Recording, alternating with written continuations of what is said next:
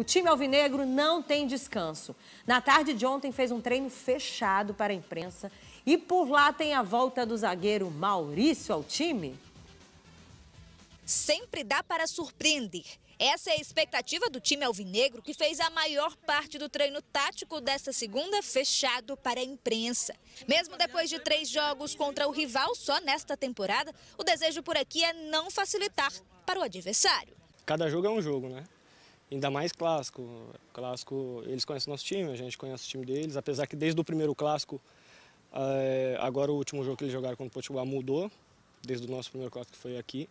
Mas acredito que sim. Provavelmente lá também eles estão fazendo algum, algum, algum suspense, né? Enquanto, a única novidade foi o retorno do zagueiro Maurício, que estava no DM e já voltou aos treinos. Em busca do tetracampeonato, o ABC sabe que vencer este duelo não será fácil. Não só pelo peso do clássico, mas porque hoje o adversário vive o melhor momento. Contudo, o objetivo é se sobressair na primeira partida e começar a defender o título.